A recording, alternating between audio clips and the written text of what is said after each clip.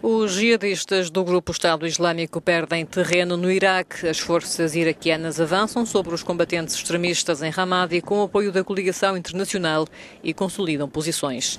O setor de Tamin, situado no sudoeste desta cidade, localizada a 100 km de Bagdade, foi tomado pelo exército nas últimas horas, um avanço que representa uma etapa importante na tentativa de reconquistar Ramadi, uma cidade que se encontra sob controle jihadista desde maio de 2015 e que até agora é era um dos núcleos do autoproclamado califado.